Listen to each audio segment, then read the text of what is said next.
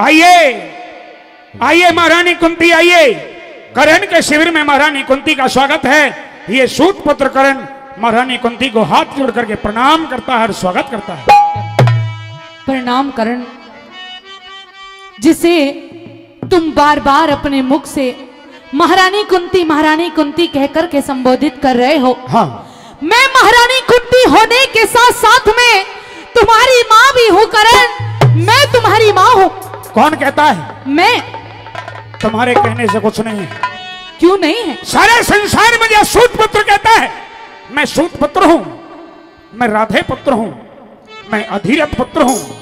तुम कुंती पुत्र हो? नहीं। नहीं? कौन कहता है मैं कुंती पुत्र हूँ? मैं कहती हूँ एक माँ को प्रणाम देने की ज़रूरत नहीं है। शायद किसी ने तुम्हें बहका दिया कि करण तुम्हारा बेटा है। अच्छा।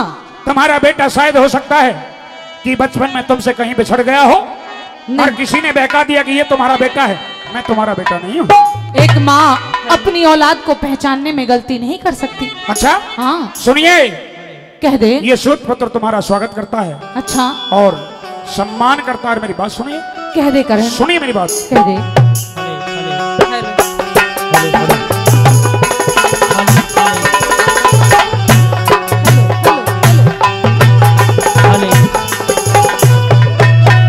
Hale, hale.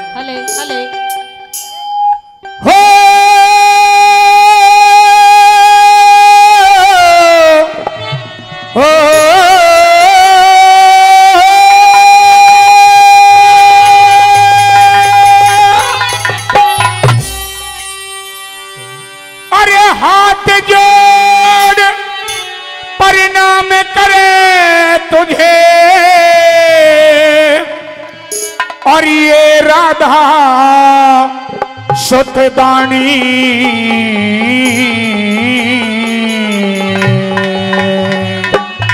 तो मेरी भी सुन ले करण। कहिए अपने। माता कह के बोले लाडले खट के तेरी वाणी हो।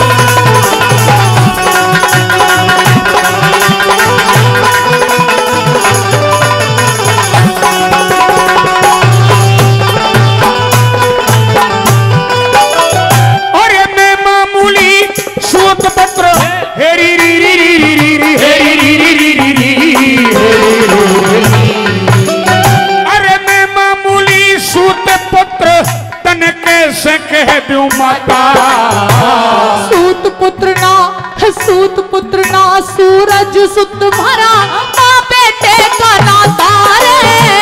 सूत पुत्र ना सूरज सुत भरा माँ बेटे का नाता। मन क्यों हम दर्दी दिखा रही? मन क्यों हम दर्दी दिखा रही? यो भेद समझ न आता।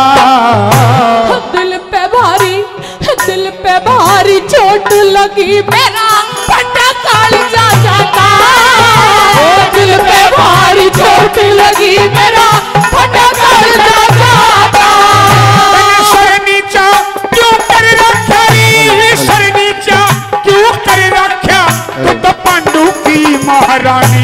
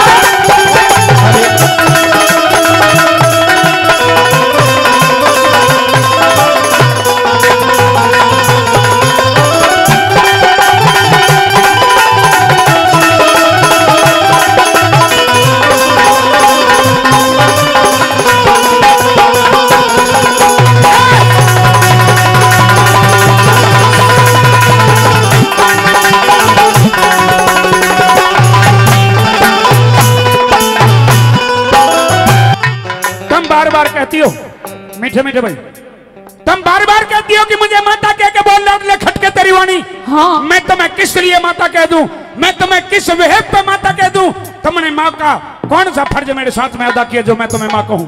करण मेरी बहुत बड़ी मजबूरी रही होगी। जिस मजबूरी के कारण मैंने तुम्हें अपने आप से अलग कर दिया वरना कोई माँ नहीं चाहेगी अपनी औलाद को अपने से दूर करना। मेरी मजबूरी थी करण। महारानी कुंती तुम्हारी आँखों में ये नीर ये गम के आँसू हाँ। एक तरफ़ तुम्हारे आंसुओं को देख करके मेरा मन भी पिघल रहा है। मेरी भावना भी उमड़ रही है। और दूसरी तरफ़ मैं तुम्हें माँ कहूँ तो कहूँ कैसे क्यों? कि तुम पांडु की महारानी हो पाँचों पांडवों की माँ हो। मैं तो मामूली सा सूत पुत्र हूँ। एक सूत पुत्र की माँ महारानी कुंती कैसे हो सकती है? लेकिन मेरी बातों पे विश्वास करो करण। तुम्हें पता है मेरी तुम्हारी माँ तुम्हें ये पता है कि मेरी माँ कौन है? कौन है? मेरे पिता कौन है? कौन है? सुनिए मैं बताता हूँ कि मेरी माँ कौन है मेरे पिता कौन है। कह दे करण। सुनिए।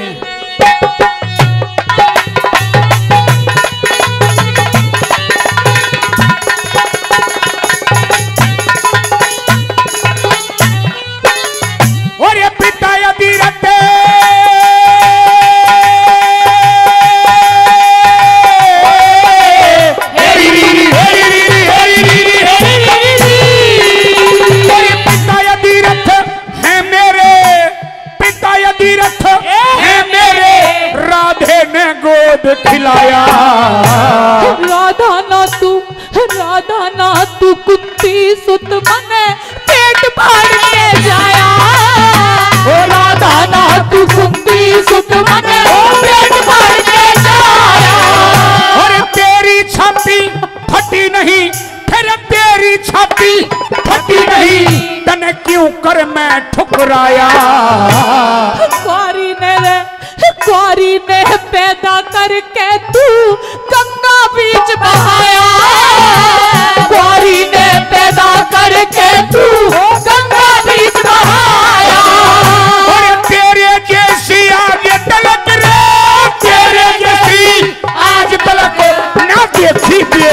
बेटे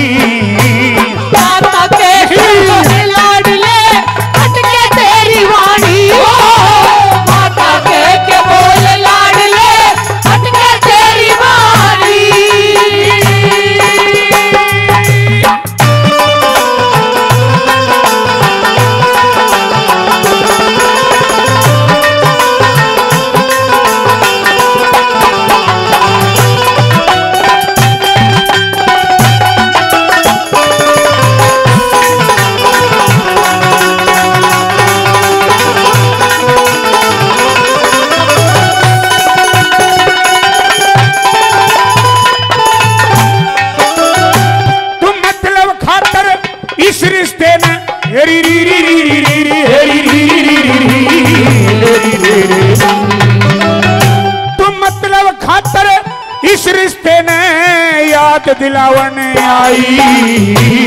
अपने दिल के, अपने दिल के टुकड़े ने मैं आज मनावन आई।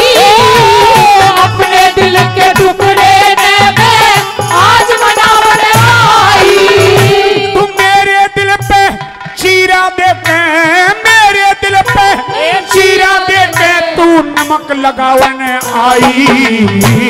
पाँचों पांडव पाँचों पांडव भाई तेरे मैनू समझावन आई। पाँचों पांडव भाई तेरे न्यू समझावन आई। अरे मांग लिए क्या चाहिए तने? मांग लिए क्या चाहिए तने? तू तो खोड़ बता परेशानी। बस माता कह के बोल लाडले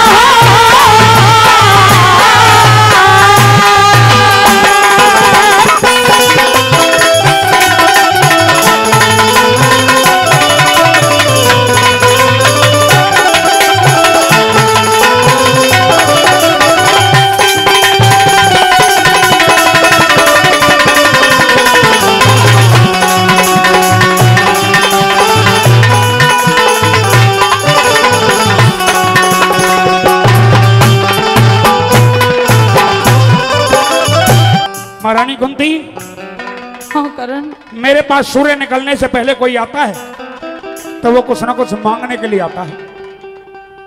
जिसने भी तुम्हें भेजा है वो कोई छोटी मोटी चीज़ नहीं है। इसलिए सूर्य निकलने से पहले आई हो जो कुछ मांगना चाहती हो दिल खोल करके मांग सकती हो। मैं तुम्हें खुले दिल से कह रहा हूँ हाँ एक काम मैं ज़रूर एक काम नहीं करूँगा मैं। क्या? क्योंकि मैंने जीवन में बहुत कुछ किया है। और मैंने जीवन में जो मेरे घर पे आया हाँ। मैंने उसका सम्मान किया है। और कैसे कैसे सम्मान किया है? कैसे? सुनिए। कह दे।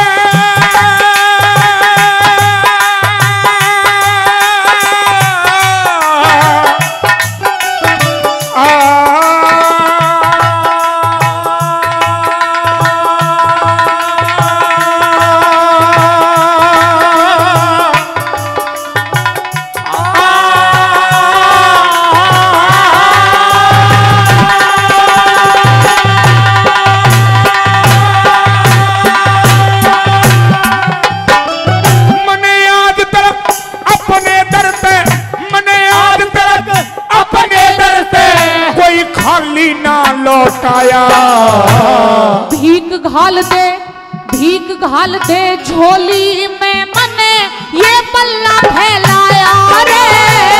भीख घाल दे झोली में मने ये पल्ला फैलाया। भीख घाल दे झोली ने मैंने यो पल्ला फैलाया।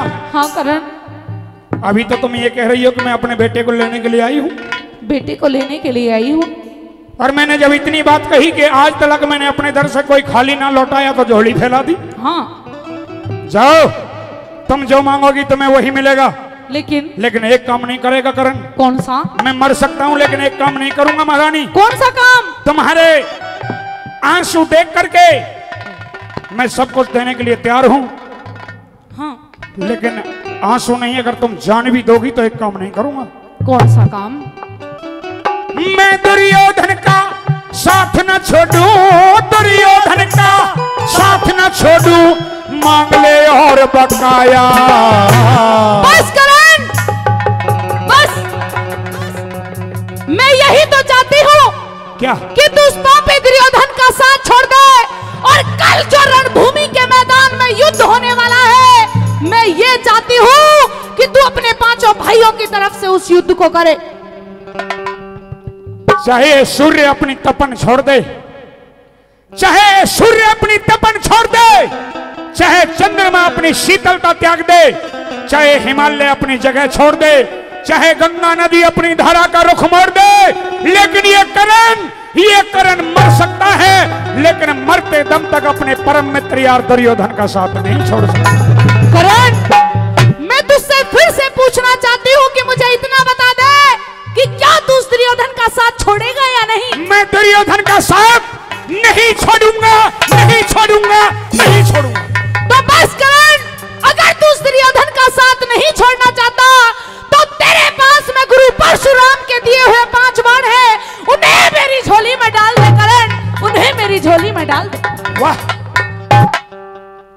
या तो मैं दुर्योधन का साथ छोड़ दूँ?